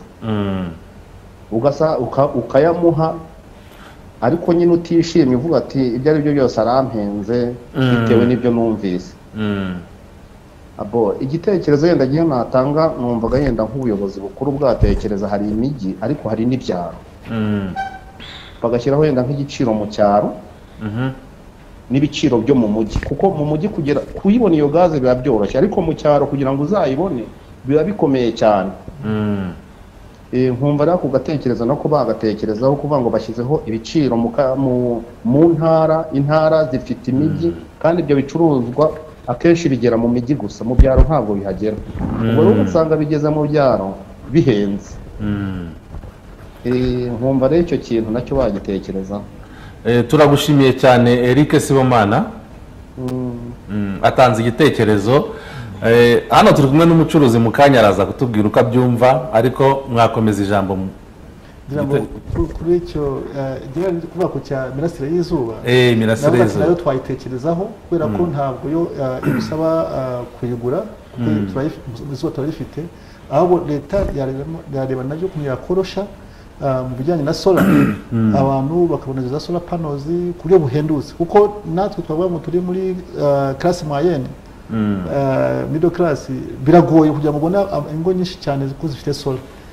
Usanga nyine abantu benshi cyane n'ubundi eh, ubu nk'abantu benshi byo gukaraba amazi yo guteka ama- amazi ashyushye. Mm. abenshi babivuyeho gukoresha za shofe babivuyeho. Mm. kubera ko amashanyarazi arahenze. Noneho habayeho n'ubwo buryo bwa sola ikaba ndabizi ko ari sola imwe ishobora gushusha amazi ariko dukeneye sola ishobora gukora byose. Wavuga ati mu gihe ntafite amashanyarazi nshobora gutekesha sola cyangwa nzakoresha gazi nkoreshe na sola gutyo umuntu akashobora kuba ya- ya- yareba ukuntu abikora Mm. ariko mu buryo leta ikabishyiramo imbaraga ndetse Mm. niba bidashobotse kuba ya- yageza ku bantu bose noneho bakareba ko ah, hari za sola nini cyane bagakora installation kuri ishobora kuba yagurishwa mu bayikeneye bakaba bayigura ikajya kuri gride nationale Mm. kugira abantu bagura umuriro wa sola Mm. ni igitekerezo cyiza cyane ndetse izindi ngufu zose zakoreshwa Mm. kugira ngo gaze wenda nitubane ibibazo tube dufite ibindi bisubizo. Eh, sibomana eric urihuye aravuze ati bashyiraho igiciro wenda tuvuge ko ikiro ari igihumbi magana mirongo itandatu eh, mu mujyi wa kigali ariko wagera i huye wagera wenda za gisagara wagera rusizi n'ahandi ugasanga ibiciro ntabwo ari bimwe. Kubera ya taransiporo mwavuze. Wenda dufate nk'urugero mu kwezi k'ukuboza hagati muri mu mwaka ushize wabonaga ko hari aho gaze yaguraga igihumbi magana atanu igihumbi magana atandatu mirongo itanu nka za rusizi eh, wagera nyagatare igihumbi magana atandatu eh, hakaba n'ahandi kuri igihumbi magana atanu. Urabona ibyo bice bitandukanye. Eh, musanga mwebwe iki gitekerezo cye mwagishyigikira ese hari ubundi buryo mubitekereza? Avuze igitekerezo cyiza cyane. Cyiza cyane kuko natwe tukiganira n'izindi nzego yaba rura Eh, nagira ngo maze mbabwire ikintu kimwe. Ubundi mbere mu igena- mu igenabiciro ntabwo ibintu bya gaze byari byagahabwa umurongo wo kugira ngo ujye mu cyuma nk'uko peteroli na na esanse byabagaho. Ah, ngira ngo bitangiye ni bwo kesi ya mbere yatangira yo kugena ibiciro bya gaze nk'uko ibiciro bya esansi bigenwa bakurikije uko ku isoko mpuzamahanga ibiciro bihagaze. Ariko nkeka ko eh, habaye iyi kesi turimo y'ikibazo cyabaye cya kibura rya gaze biturutse mu bihugu zivamo kuko abazungu baraduhemukira cyane iyo bashatse barafunga cyangwa bagafungura Mm. niyo mpamvu turi gushaka ibisubizo byatuma natwe tubasha kwigira honorable yatubwiye imirasire yatubwira imirasire atubwira n'ibindi hari byinshi Mm. byose ni ibisubizo bituma twa bariya bantu batagumya kudufata uko bashatse cyangwa badufungire uko bishakiye Mm. ni ibisubizo biri gushakwa hagati aho rero nkeka ko tujye turebera ikintu kimwe niba umuntu atuye nyarutarama ugatura ikarembure cyangwa ugatura rwa rutabura ntabwo n'itike mu na esansi uzanywa n'indi uzanywa ntabwo bizaba kimwe. Mm. ariko igihugu cyacu kiraturebera kandi kitureberera kure kurusha uko turi kwireberera Mm. numva uko ngira ngo na gazi na mazutu iyo ugiye nako na esansi na mazutu iyo ivuye aha ngaha ijya mu ruhengeri ntabwo ari kimwe n'uko uyigura i kigali. Iyo ivuye i kigali gisenyi ntabwo ari kimwe n'uko igura i kigali. Iyo ugeze cyangugu ni uko bimeze. Buriya na gazi na yo kugira ngo wa muturage aho ari hose bitewe na taransiporo uh, leta n'ubundi barimo barabireba barabitekereza nta giciro cya kimwe mu rwanda hose byo ntabwo byashoboka Mm. ariko kubera kesi yabaye mu gihe gito tugomba kurwana isigaje iminsi igera muri icumi tugize amahirwe bigakunda nkeka byose ntabwo ubuyobozi bwicaye ndakeka babirimo ku buryo buri buri- buri buri ntara buri karere eh, nk'uko kuri esansi bimeze n'amazutu ibiciro biza- bizagenda bigira ku buryo uwo muturage bisobanuka Mm. nabwo nabafata ngo i kigali niba niba umuntu utatu uri gufata ikiro cya gaze ugafata amafaranga mirongo itatu wagiye kuyikora arayigeza ku muntu harimo ubwitange twese turi gukora. Mm. n'abandi rero niba hari umucuruzi uri butare harimo bita ba janvier n'abandi bafite gazi hariyo za sp barimo kugerageza. Kugira ngo tuve muri iyi kesi turimo ariko imbere ni heza kandi ku buryo nta muturage wo mu cyaro yazarangura gazi ku giciro cyiza akagenda agacuruza neza nta uvuze ngo nyuma y'itegeko n'ibiciro bihari. Mm, eh, murakoze cyane. Hari undi umaze kuduha igitekerezo aragira ati mwiriweho neza ntuye mu murenge wa ndera i gasogi. Ikibazo mfite eh, eh, ni icy'abacuruzi ba gaze batagira iminzani. Kandi ugasanga gaze zabo ntabwo ziba zuzuye. Ese rura ibikoraho iki? Tuzaganira na yo iri mu bugenzuzi wenda yaba iri kubireba ese ibyo namwe eh, murabibona mu bucuruzi murabyumva honorable icyo kibazo namwe muracyumva ikibazo nigeze ku nanjye kukibazaho rimwe biterwa n'ukuntu eh, iyo uguze nka kariya gacupa k'ibiro cumi na bibiri cyangwa se cumi na bitanu hari igihe umuntu avuga ati kano gacupa nkaguze eh, niba ntakoresha amakara Mm. nibura mu kwezi nzakoresha amacupa abiri Mm. bizaba bihagije bitewe na famiye ukuntu ufite undi akavuga ati ngewe agacupa kamwe karampagije mu Mm. kwezi Mm. ariko iyo urebye kageze mu byumweru bitatu kaba karashize cyangwa se niba Tangira warateganyije ko eh. izashyira mu byumweru eh, eh, uzakoresha uducupa tubiri ugasanga mu kwezi kurangira ukoresheje amacupa atatu. Kandi nta kintu cy'igitangaza cyabaye nta bashyitsi benshi Mm. bagize nta cyabaye cy'igitangaza. Utangira kubyibaza nanjye byize kumbaho ndabyibazaho. Ndavuga se baba bayigabanyije byagenze gute? Ariko sinashoboye kubikurikirana cyane. Mm. Narabyirengaje ariko we ngira ngo yatubwira nk'umucuruzi. Nagira ngo ntangeho igisubizo aho hantu ndigaze kuko nabibabwiye ngiye kuzimaramo imyaka cumi n'umwe zibamo nta kantu na kamwe kaba muri gaze kereka wenda kazi ubu ngubu ntazi cyangwa ntamenye buriya amarefiringi ashyira gaze muri aya macupa ko ntabwo ariko tuyashyiramo ni ni amarefiringi agenzurwa na rura ngira ngo kabiri mu kwezi agenzura iminzani yabo. Hari n'itegeko ubundi ry'uko umucuruzi yakabaye agira umunzani ariko ubundi iyo gusa no kujya mu mukiriya agenda ashyize amakinga ibyo yaguze. Kuko iriya gagaze nta mucuruzi ushobora kwiba gaze w'umudetiya cyangwa w'umudirasi icya mbere ntabwo tugira ubushobozi bwo kuyikuramo. Kereka nifashe nkajyana n'undi nkayitekesha nkatekaho nkayizana ku isoko nkayigurisha ibintu nagira ngo mari impungenge umuturage wa gaze ngo wamuhaye ituzuye. Ahubwo hashobora kubaho ereri imwe wa muntu uyivoma umukozi nawe utatumwe na kampani amakampani yose yo mu rwanda nakoranye na yo turakorana menshi kuko ntabwo Mm. na- bodefingi na yo ndabifite ndenda kuyikora ariko ndacyakorana n'abandi n'amakampani yose. Nta kampani ushobora gutuma umukozi ngo ahantu ushyiramo ibiro bike ko ntabwo ushobora kubaho hari umunzani hari cyangwa umukozi ashobora kurangara gutya gato akayitura atarebye ku munzani akaba yumukira nk'uko hari igihe bayimuha irenga kenshi umurikira duhamagara ati ngeze mu rugo gaze nisanga ntiyaka. Wa- kandi byatewe no kuzura cyane gaze yuzuye cyane. Tukamubwira tukamubwira ibyo akora kugira ngo gaze igabanyuke. Uko bayirenza yewe nanjye buryo ntabwo yaka ni nako umukozi ashobora kubeshya ariko bibaho gake cyane. Dushobora kurangura amacupa ibihumbi bibiri nkasanga amacupa abiri cyangwa atatu cyangwa rimwe. Ntabwo ari ibintu bikunze kubaho noneho ikindi hari ubundi buryo ushobora kumenya ko gaze yawe utwaye nibura ufite eh, sekirite ko yuzuye Mm. gaze yose umuntu utari washyizeho itegeko ko igomba gusohoka iri siri nko ku icupa ry'amazi risirinze hari ukuba agafuniko hari ukuba agasashe eh, hari akenshi hari igihe tugacira imbere y'ejo kugura gaze ariko tuba twagupimiye ku munzani twebwe.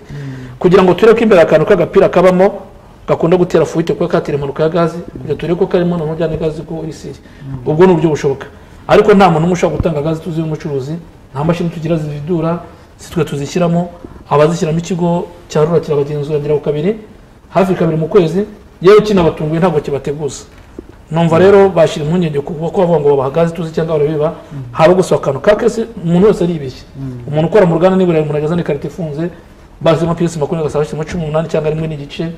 Ariko ni rimwe ku ijana rimwe ku gihumbi rishobora kubaho Na- ni ikintu numva ari icyo gitekerezo natangaho murakoze cyane ko ibyo bisobanuro muduhaye twibutse abadukurikiye ko turi mu kiganiro isangano abifuza kubaza no gutanga igitekerezo mwahamagara zeru karindwi umunani umunani mirongo itatu na rimwe mirongo irindwi n'icyenda cumi n'icyenda tugira ngo tubaze honorable mu mwaka w'ibihumbi na cumi na gatandatu honyine abantu basaga miliyoni eshatu n'ibihumbi ijana bapfuye bazize indwara zifitanye isano no guhumeka umwuka wanduye hirya no hino ku isi. Ibyo ni ibyasohotse muri raporo ya bibiri na cumi n'umunani igaragaza ibyerekeranye n'ihumana ry'umwuka ku isi. Eh, murakora iki mu kurengera ubuzima bw'abantu? Kuko bigaragara ko wenda bamwe bapfuye kubera gucana inkwi cyangwa se amakara. Eh, murakoze cyane ndumva minisitiri yabigarutseho cyane yagaragaje ingamba za guverinoma eh, ifite mu buryo bwo kurengera ibidukikije ariko no kurengera abaturage Mm. eh, byinshi ndetse n'amasezerano mpuzamahanga leta yasinye atandukanye afasha kugira ngo ibyemezo bibe byakurikizwa so navuga yuko eh, birasanzwe bizwi yuko eh, gucyana guko- gu- gu- gucana inkwi Mm. cyangwa se gukoresha amakara yuko iyo myotsi yangiza ubuzima bwa cyane ibihaha ah, ndetse mu buryo bw'imihumekero y'aba- y'aba- y'aba- y'abaturage Mm. cyane cyane ku bamama cyangwa se abakobwa bakunze bakunaga bakundaga kuba bari mu gikoni ndavuga ko n'ubu n'abagabo basigaye bateka ariko akenshi abamama nibo baba bari kuri Mm. risike kurusha abagabo Ah, usanga nyine abantu barwara cyane mu mihumekero bakagira agakoro kadakira bakagira ibibazo byose byo mu ah, byo mu bihaha ah, biterwa n'iyo myotsi mibi ariko ntabwo rero yonyine ubu Mm. ubu hiyongereho n'iyi myotsi y'imodoka ibimodoka bishaje mujya mubibona bya isuzu byande byose Mm. biriya bi- byikorera amakara ibyikorera ibintu byo mu nganda n'iki byose biriya bimodoka bigenda bi- eh, ngira ngo biba batakora neza za vidange cyangwa se byarwaye muri za moteri bigenda bi- bi- bisohora imyotsi iriya myotsi na yo irangiza iyo tuyihumetse na yo iratwangiza Ah, ariko ntabwo ari yo yonyine n'itabi turabizi ko mu itabi nabo bahura n'ibyo bibazo kandi ngira ngo hari ingamba zihari zo kugira ngo abantu bareba ukuntu bagabanya kunywa itabi cyane cyane se n'aba baba barinywa ariko bebe kuba barinywera ahantu muri public kugira ngo batarinywa byo kubagiraho ingaruka kuko umwotsi waryo ugirira ingaruka no kuta- kutarinywa. So ibyo byose ni imyuka yose itandukanye. So ingamba zirahari zitandukanye hari za minisante zihari hari za minisiteri y'ibidukikije zihari na rema zihari hari eh, uburyo butandukanye buhari kugira ngo ibintu byose bibe byakwirindwa ndumva na, polisi y'u rwanda buriya kiriya gikorwa cyashyizeho cyo gukora controle tekinike uh, tujye dukoresha mu modoka yacu. Nayo biri muri urwo rwego kugira ngo barebe aya mamodoka dukoresha niba bameze neza niba mu by'ukuri ari imodoka ishobora gukomeza kuba ku muhanda. Nubwo abantu benshi baba batekereza ko ari uh, kugira ngo baturinde impanuka gusa ariko no kureba yuko atari imodoka zikomeza kutwangiriza gusohora iyo myotsi mibi. Ariko hari n'amafirigo aya mafirigo amafirigo amwe kera yashaje bageze kugaragaza kuri rema bajya babigaragaza ko ari amafirigo babuje kwinjira mu rwanda ariko hari agihari ari babuje kwinjira ariko ari yarasaza akiri mu rwanda atarasaza agihari. A- na yo afite ibya- bya gazi bibi bisohoka na byo byangiza ubuzima bwacu bikangiza n'ikirere. Ndumva ingamba zirahari ah, tugakomeza kugenda tu- tubyirinda. Ariko noneho nk'uko turi kuri ibi bijyanye na, gazi ni byiza cyane ko dukoresha gazi dukoresha sola tugakoresha na- n'amashanyarazi tukirinda cyane gukoresha inkwi tukirinda gukore- gukoresha amakara. Biradufasha kugira ngo tube twagira imikire myiza tukirinda iyo myuka mibi. Murakoze cyane ko ibyo bitekerezo mutanze. Twibutse abadukurikiye ko tukiri mu kiganiro isangano. Ikiganiro cyacu kirakomeza mu kanya nyuma y'akaruhuko gatoya.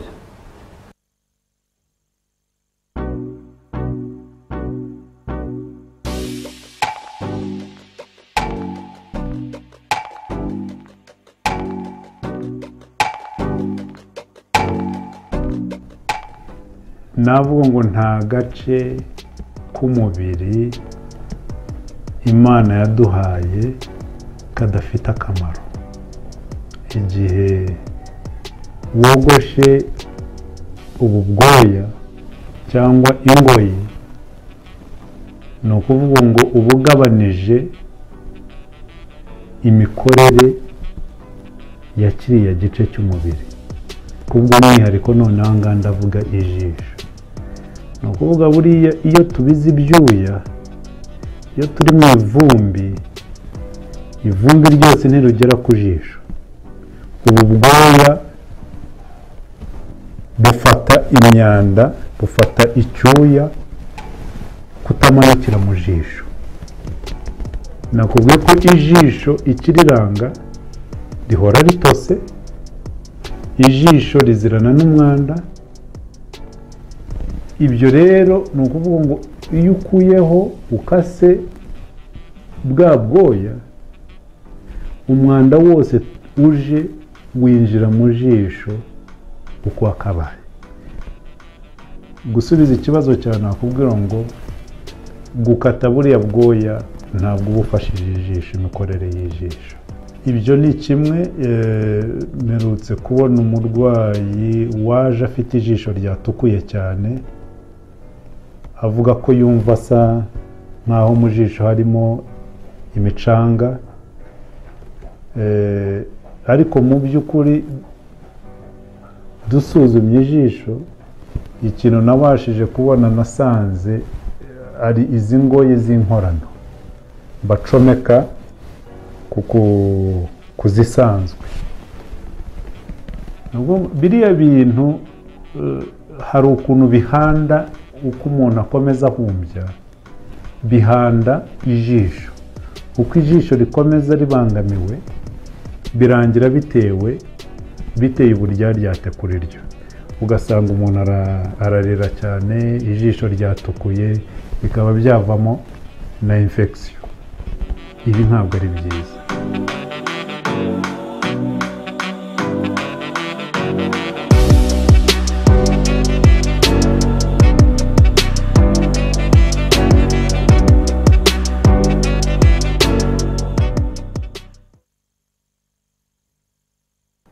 Angahe?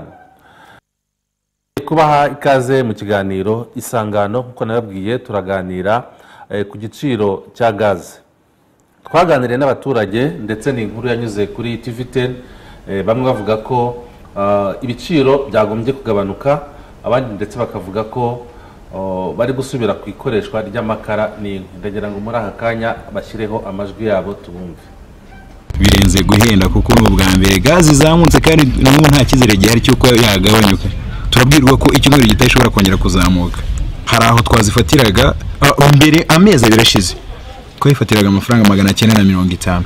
Urumva kuva ku mafaranga magana cyenda na mirongo itanu kugera ku gihumbi na magana atatu ni amafaranga menshi cyane. Mu gihe kitageze no ku mezi abiri. Iri cupa ry'ibiro bitandatu. Warifatiraga ibihumbi bitanu na magana ane. Ukarigurisha ibihumbi bitandatu ku muntu uje ku urishaka. Uyu munsi wa none ryavuye ku bihumbi bitanu na magana ane. Twebwe turanguzamo turiranguza ku bihumbi birindwi na magana inani. Umuntu nawe uke- ukeneye kujya kuyikoresha mu rugo imuhagaze ibihumbi icyenda. Leta yareba uburyo yadufasha ibiciro bigabanuke kuko birababaje kugira ngo umuntu ave ku bihumbi cumi n'umunani iba igeze ku bihumbi makumyabiri n'umunani. Ni ikibazo. Kandi ahantu umuntu akura nta kintu kigeze gihinduka. Ayo nabonaga aracyari ni ayo ngayo kandi ibyo nsabwa byikubye inshuro zirenga eshatu. Gaze yagakwiye kuba ahubwo iri kumanuka ntabwo yagakwiye kuba iri kurira kugira ngo na wa wundi ufite ubushobozi buke abashe kubyibonamo. Iyo myotsi nyine nta hantu tuza kongera kuyihungira bitewe n'uko iyi gaze badukanguriraga yabuze ntaho turi kuva ntaho turi kujya. Eh, urebye ubu ngubu ubona amakara ariyo yoroshye kuyakoresha kuruta gaze. Nyine bibaye byiza urumva ko igiciro cyaba cyoroshye n'uwo muntu utuzaniye iterambere. Urumva nta kibazo umuturage agize nawe iterambere rye rigiye twongeye kubaha ikaze mu kiganiro isangano aho tuganira ku giciro cya gaze nyuma y'aya majwi y'abaturage ese murabona ibiciro bizongera bikagabanuka? Ese murabaha ubut- ubutumwa kugira ngo badasubira ku nkwi n'amakara? Njyewe icyifuzo cyanjye ah, biramutse bishobotse. Niba igiciro cyasubira kuri bibiri na cumi n'icyenda kuko cyari kimeze muri bibiri na cumi n'icyenda kuvuga ngo neza kigasubira kuri magana inani. Mm. ntabwo mbizi niba bishoboka ariko bikunze rwose bikaba biri hasi y'amafaranga igihumbi. Mm. icyo gihe eh, noneho n'aba bagura babikura hanze bi- biramutse bikunze bika- bikaba bakunguka ntibahendwe. Eh, nabo ba- dirazi cyangwa se n'abariya ba- ba- bacuruza mu maduka nabo ntibahendwe. Ariko ku muturage we akakibona ku mafaranga ari hasi y'amafaranga igihumbi byaba ari byiza cyane ni bwo abanyarwanda bose bazabishikaririza Eh, ndetse ariko nta kindi nabwira ah, bano ba- bayigurisha ni uko bareba iyo gufashima ko hariho uducupa dutoya twaje tw'ibiro ngira ngo ni bitandatu ngira ngo duhari Mm. ariko bashobora no kubona tw'ibiro bitatu ibiro bingahe bibiri na byo byaba ari byiza bishobotse Mm. ku buryo n'ushaka ikiro kimwe yakigura n'umwana muri Tanzania nabonye duhari. Eh, umwana wibera muri ghetto avuga ati nge aho kugira ngo ngure amakara y'igihumbi kanigure ikiro kimwe cy'igihumbi nitekere ibyejo nzaba ndebe ibyejo. By'uyu munsi akarabibonye bishobotse urumva ko byakunda na byo mu bitekerezo urumva ko muri Tanzania bihari natwe hano nta cyatubuza ubundi turabufite. Mm. Eh, murakoze cyane. Aravuze ati igiciro gisubiye kuri eh, icyariho kuri bibiri na cumi n'icyenda. Ese murabona ubucuruzi bwanyu butazahungabana? Ese inyungu zizaboneka ubucuruzi bukomeze nk'uko bisanzwe Eh, mwagira icyo mubivugaho ndetse mugire n'inama abaturage Ndashaka- eh, kugira ngo bagume kuri gaze be gusubira ku nkwi n'amakara ndashaka kugira ngo tujye mu mibare gakeya Mm. ibintu byanjye burya akenshi hari igihe bijyana n'imibare kugira ngo hari igihe ikintu kiba hakaba impinduka gatoya Mm. ntujye mu mibare wo gukumva ibyabaye Mm. Uh, ukumva ibyabaye ndabiherera ejo bundi emutiyeni ya yagira ngo hari amafaranga bakata abantu yohereje amafaranga. Mm. ugasanga umucuruzi niba umuntu agiye kumwishyura wenda urugero ndi ibihumbi ijana. Mm. ibihumbi ijana ngira ngo ugiye kureba niba ari amafaranga ni magana atanu ni bitanu cyangwa hafi aho ngaho. Mm. kandi rero bitewe n'inyungu y'ibihumbi mirongo itatu ati ngewe ntabwo nkoresha mobile money igendere kandi aya mafaranga bamutwaye n'inyungu yari buze kunguka niyo nyinshi kuruta twa dufaranga duke bari bukate impamvu ngiye mu mibare ni iyihe Eh, eh, umufuka w'amakara sinzi niba yarondosha amafaranga uri kugura ubu ngubu. Nawe ugeze ngira ngo kuri cumi na bitatu ngira ngo- honorable ya- ya- yatubwiye ko- ari cumi na bitatu. Mm. cumi na bitatu iriya gazi y'ibiro bitandatu uyu munota igura ibihumbi birindwi ngira ngo na magana atandatu ku giciro turi kuyitangiraho niba ntibeshye atarenze birindwi magana atandatu ikora ahantu harenze umufuka umwe w'amakara. Mm. kugira ngo tujye mu mubare gakeya twe kuza kumva ibintu ngo dufate ko ikibazo cyabaye ariko twumve ko hari ibikomeye cyane bihari. Ndebe nsanga nta byacitse hari niba gazi igura birindwi magana atandatu umufuka w'amakara ukaba ugura cumi na bitatu warangiza ah, ukagira isuku yawe mu rugo ukagenda uka- nubwo wambaye imyenda natwe bagasigaye duteka kubera gaze aho yaziye. Nkajya mu gikoni nkafata gaze nkateka najya gupfurizwa ama- amakara n'ibindi. Deja nabwo ndi mu nyungu. Aho akora umufuka w'amakara harakora gaze y'ibiro bitandatu. Ahakora imifuka ibiri y'amaka- ibiri y'amakara harakora gaze y'ibiro cumi na bibiri. Noneho ukanunguka amafaranga agasigaramo navuga ngo imifuka ibiri ni ibihumbi makumyabiri na bitandatu gaze uregura ibihumbi cumi na bitanu n'amafaranga ijana na makumyabiri. Nta kiracika gihari nkeka tugiye mu mibare. Abenshi bakora ubushakashatsi niba hari umuturage ukoresha gaze baze guhamagara ko mwabatanze umurongo aravuga ngo ngiye gaze y'ibiro cumi n'enye nyuma nagiye iki iki- iki n'iki nakoreshaga amakara angana gutya. Ah, gusa rero hagiye umuntu ubakana ugendutse ari gatoya ariko rwose b'iki kibazo kandi yiraguye imanuke nabwo ngo igihugu cyacu kiratureberera kirebera umuturage. Eh, na- ibyo bigomye amafaranga yose ashoboka kandi n'ifaranga rimwe leta ifata. Ku biciro bya gaze cyangwa ku bintu bya gaze numva rero twajya mu mujyi umwe tukumva ko nta cyahindutse cyane. Buri wese akareba amafaranga yaguraga amakara akareba n'aya gaze kandi akizera ko ibiciro bigiye kumanuka. Numva agira icyo natanga kugira ngo wese abyumve muri uwo mujyi ukumva ko gaze ibihumbi cumi na bitatu ayikora hakora ibiro bitandatu bya gaze. Ahari inyungu ni hehe namwe mujye mu mibare. Birumvikana isuku. Biraterwa ariko nyine na- na- n'icyo uko umuturage abimenyera niba umuturage ateka ibishyimbo Mm. eh, eh, ntabwo wateka ibishyimbo kuri gaze keretse nyine kwa kundi umaze kubi- ku- ku- ku- kwiga ubundi buryo wabikora. Ariko nyine eh, niba umuntu yaramenyereye amenyereye kotsa kambu icoma kakanyama ku ku makara eh, urumva harimo amatandukaniro biba bihari. Ariko nyine eh, si- njye sinshyigikiye yuko hari dukoresha umuntu uri kuri telefone. Tivi tv ten alo Ara? Mwiriwe Mwiriwe neza. yego mwitwa nde Eh, murako- Murakoze yuko muzanye icyo kiganiro cya gaze. Mm. Ni ukuri ni byiza murakoze. Gaze irahenda cyane Mm. kugira ngo tujye kuyigura. Ni ikibazo gikomeye ufite amafaranga makeya. Mm. Ariko muvuze ku kibazo cy'amakara nkanjye ncuruza amakara. Umufuka w'amakara uyunguruye nta kuri irimo tugurisha amafaranga icumi magana atanu. Eh, ndumva duhaye ibiciro imibare rwose umufuka utayunguruye tugurisha amafaranga umunani icyenda Mm. ubwo rero twumva yuko rwose mutworohereje gaze y'ibiro cumi na bibiri Mm. yasubira ku mafaranga nibura ibihumbi cumi na bine cumi na bitatu Mm. mwaba mudukoreye murakoze cyane ni igitekerezo turakigeza ku batumirwa bacu bagira icyo bakitubwiraho. Nari ngiye kugira igitekerezo nsanga kuri honorable ku gitekerezo yaratanze avuga ati nk'umuturage uteka inkwi no guteka ibishyimbo Mm. watekaga ibintu bikomeye. Buriya eh, abantu twese ntabwo dukonsoma ibintu kimwe. Uyu munota ashobora kuba ari kugenda muri limited kubera ko nzi ko inywa esanse gakeya honorable akaba afite bya bishishwe binini hariya bavuga ngo ni bashyizeho za speed gavana ngo ntabwo bajya bafunguraga za turbo ni kimwe no mu rugo rero hari n'u- hari n'ufata gaze mu rugo iwe akayitekesha impungure akeneye kurya impungure.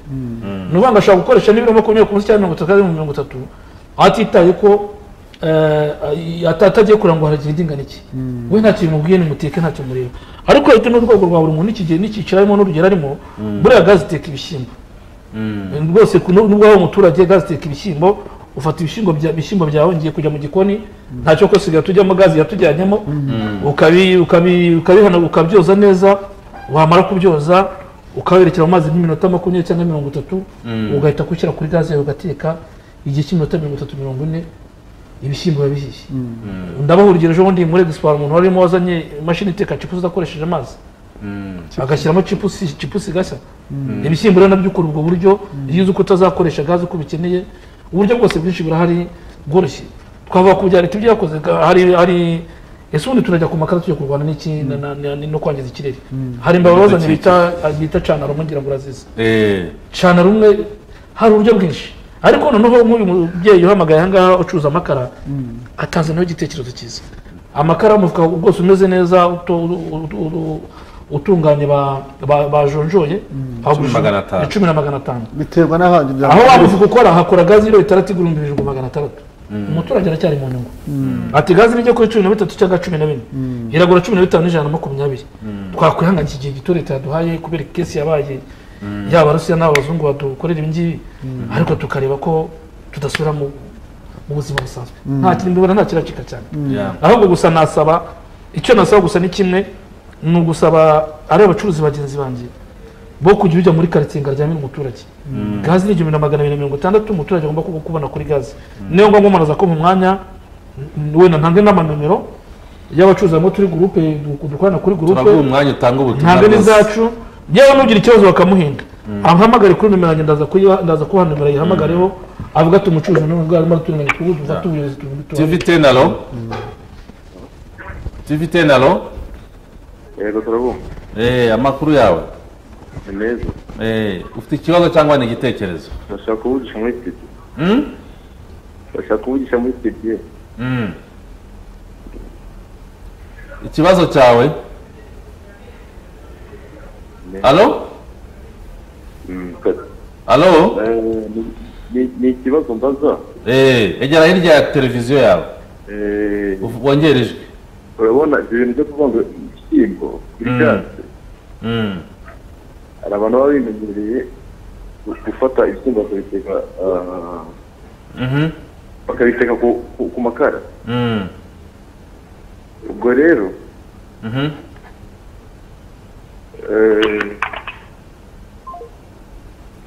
ntabwo dushoboye kumvikana nawe ariko eh, nawe yari afite ikibazo nk'icyo narabeze kutubwira cyerekeranye n'uburyo Mm. eh, batumva neza uburyo gaze yateka ibishyimbo bigashya Mm. ariko wari watanze igisubizo Mm. eh, uburyo babanza kubishyira mu mazi yenda wamusubiramo kugira ngo abyumve neza ashobora kuba atabyumvise oya Oya. uyu ubajije nonaha Ah, namubwiye nti natangiye avuga ntera urwo nyagato avuga nta bagabo gazi yaduhaye kujya mu gikoni guteka Mm. kuko ntabwo tugitinya amakara na yo amasafuriya agira imbyiro hasi ibyo ntabwo bikiba buriya gaze ntabwo igira imbyiro Mm. Deje na yo yagize imbyiro ku isafuriya burya gaze iba ifite ikibazo Mm. buri muri kirazira ko isafuriya ikora kuri gaze itagomba kugira imbyiro hasi Mm. igomba kwicara ariko iriya ubona isa neza Mm. gaze yaka ubururu eh, ubwo itangiye kujya ibara ry'umuntu ntigira imbyiro namubwiye ngo gaze ufata ibishyimbo byawe ukabyoza neza wamara kubyoza ukabitunganya Mm. ukabishyira mu isafuriya ubitekemo kugira ngo bwabo za ntungamubiri zirimo zitavamo ugategereza hagati y'iminota mirongo itatu na mirongo ine biba byagabanyije ubwa bukomere bwabyo. Ugashyira kuri gaze yawe igihe kitamaze iminota mirongo itatu biba bihiye hari n'ubundi buryo hari udusoro bazana bita ka sora presiyo Mm. nako kakongera kugira ngo ibintu bishye gutereka kuri gaze ve miniti itandatu miniti ibishyimbo bihiye ariko hari n'ubundi buryo bwinshi. Mm. ntabwo hari ababishinzwe bazaduha ibitekerezo ariko uburyo buhari bwinshi ku buryo ibintu ibyo byose babiteka kuri gaze Mm. bitewe n'ubushobozi bwawe niba nk'uko twabivuze ntanga urugero rwo genda muri viyoti no muri cukumi ibyo banywa muri esansi Mm. No ku mirire nuko bimeze hari uburyo ushobora kubikora Yeah. bikaguhindukira Eh, tugana ku musozo mwagira ubutumwa mugeza ku badukurikiye hanyuma honorable akaza kudusoreza. So, mbere na mbere nk'uko nabivuze eh, ni uko umutu- umuturage eh, bareka kwitiranya ibintu nk'uko nabivuze. Niba ugura gaze muri karitsiye hamwe hatari aba- abacuruzi bazwi bamenyerewe kuko abenshi tugiye kubavuga ahangaha tundatanga na nimero za bagenzi banjye. Gurira gaze ku masitasiyo gura gaze ku badirazi Eh, ikindi niba ukeneye gutuma gaze iwawe mu rugo. Igisirimu kirahenda umucuruzi noneho ngo nawe ujya muri karitsiye wahamagara umuntu ajya kuzana musanga mwajyaga musanga ngo akaza n'uwanjye akayigura ibihumbi magana mirongo itandatu niba ayiguze cumi na bitanu cyangwa nguramo cumi n'umunani cyangwa makumyabiri. Kubera ko agiye kugusanga iwawe uti gaze yahenze Ah, hari amanimero tugiye kuba hano y'abantu bafite amashopu n'aho bagiye bakorera. Eh, bagana ayo mashopu mu gihe wenda hakiriho eh, bakiri gukemura ibibazo byo kugira ngo gaze iboneke ya make bagana ayo mashami tugiye kubaha. Ugira n'ikibazo ahamagariza umuntu tubwo atahana hari abakuduhenda tumenye ngo ese uyu muntu uri guhenda ari mu ishyirahamwe ryacu ry'abo turi kumwe? Kuko nabwo turafatanya n'inzego za rura n'inzego za leta turi gufatanya. So ntatwaye umwanya rero eh, nahera wenda kuri ku nomero za kigali gazi kigali gazi icyicaro cyayo gikuriwe hano ku muhanda wa puwaruru. Abenshi barahazi bakoresha zeru karindwi umunani ma- zeru karindwi umunani magana ane mirongo cyenda magana atatu makumyabiri kane. Bakajya ku gihozo supamaketi kimironko hano impande ya simba. Bakoresha zeru karindwi umunani mirongo itandatu na rimwe mirongo inani n'umunani magana atandatu mirongo icyenda na karindwi. Bakajya i remera kwa rwamano hari igipangu cya emutiyeni kinini hegeranye na emutiyeni imbere harimo icyicaro cya kigali gazi gikuru. Bagahamagara kuri zeru karindwi umunani umunani mirongo itatu na rimwe mirongo icyenda na kabiri cumi na gatanu. Bakongera bakajya muhanga dukora munsi yo kuri arisi i muhanga bahamagara zeru karindwi umunani mirongo itanu n'umunani iminani itatu gatandatu. Bakajya i bugesera. I bugesera bahamagara kuri zeru karindwi iminani ibiri mirongo irindwi na kane mirongo icyenda na karindwi mirongo ine n'umunani. Wagira ikibazo kwa baramutse bamuhinze kuri izi shopu zose azahamagana imihogo na cumi na gatanu ku cyicaro gikuru tumufashe nawe yagira ikibazo. Ntabwo zari mwafasha ngo abandi zo muri yesi gaze ko bafite amashopu menshi naho mu gihugu. Rwose. kuko ni nk'ingamyi namwe mwatanze nka tiviteni yo gufasha abanyarwanda. Reka mpite mbikora.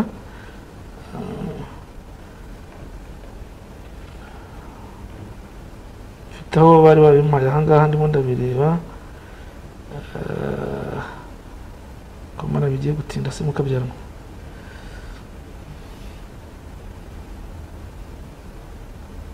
ntabwo izo nimero murazibona ntabwo ndazibona ziri kuri mesaje bari babinyohereje kuri gurupe tuhuriraho n'abantu barura n'abandi. Eh, ubwo ntacyo niba mutari kuzibona twaha honorable nawe wenda bazabaza izo ngizo nawe akagira ubutumwa ageza ku badukurikiye muri aka kanya dusoza ikiganiro. Yego murakoze cyane. Eh, ubutumwa bwa mbere eh, nifuza gutanga ni uko dusaba rura ariyo leta ihagarariye leta eh, y'u rwanda um, um, cyane cyane muri iki kibazo cya gazi.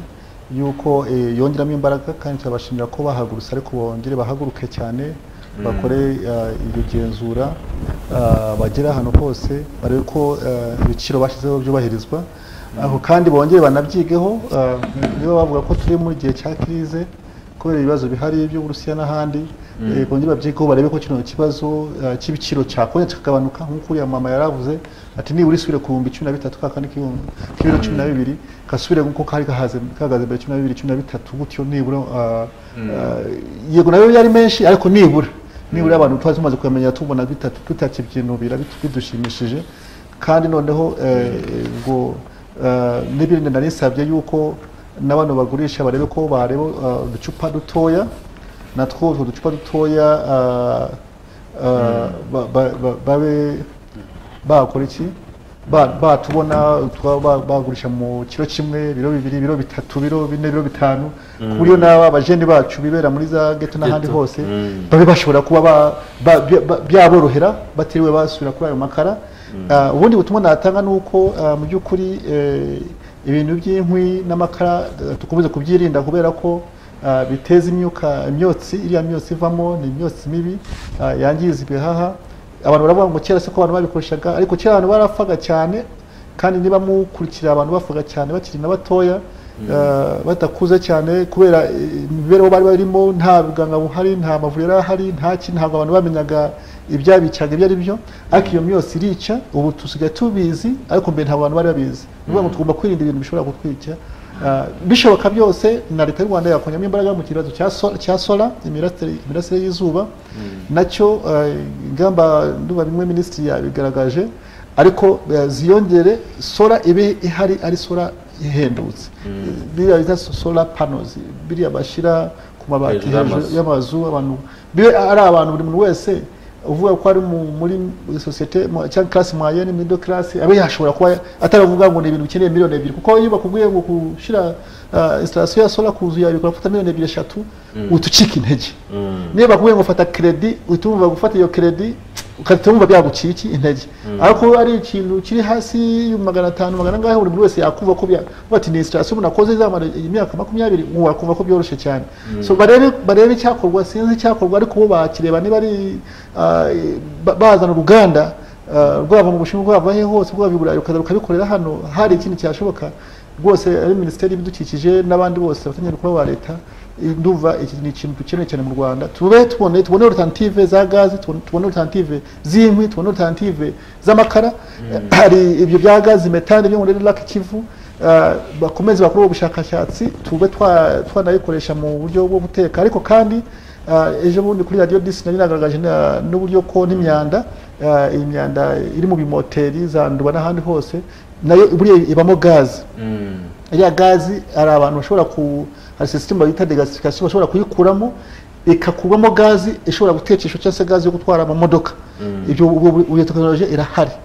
Eh, ndumva ni ibintu abantu bakwigaho Mm. ba- bakora kuri iyo gazi eh, ivuye mu myanda na yo twa- twayikoresha ikaba twayitekesha noneho icya nyuma navuga habeho n'uburyo bano bacuruzi bareba ko gazi yagera ku ngo z'abantu noneho za mu nk'uko tu- nk'uko tugura amazi na yo igiye mu za pepsi igiye mu midugudu y'abaturage ku buryo umuntu ashobora kuba yayikoresha mu buryo bushoboka Mm.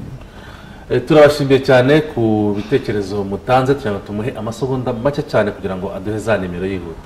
Murakoze mbere na mbere ndabanza gutanga nomero za za rura kugira ngo umuturage ubashije guhendwa ashobora guhamagaraho cyangwa agahamagara zano nababwiye nomero rero ni mirongo itatu n'icyenda mirongo inani n'umunani hanyuma ubwo n'izacu twatanze. Ba- munyihanganiyeho gato nagira ngo ntange wenda amashopu ya yesi gazi aho akorera nari mbibonye kugira ngo nabo bahagane kuko hose ikiro ni amafaranga igihumbi na magana abiri na mirongo itandatu. Eh, yesi gazi ikorera hari kacyiru hari remera hari masaka hari kicukiro hari kagugu kabuga gikondo ruyenzi kanombe karuruma nyabugogo nyamirambo. Mwareba ahantu handitse yesi shopu cyangwa yesi gazi mukagura gazi ku gihumbi na magana abiri. N'amafaranga mirongo itandatu. Umuramuko yanzeho mugahamagara za nimero za rura n'izindi mwabona muri zimwe twabahaye tukabasha kubafasha ko nta muturage ugomba guhendwa agiye hejuru y'iki giciro.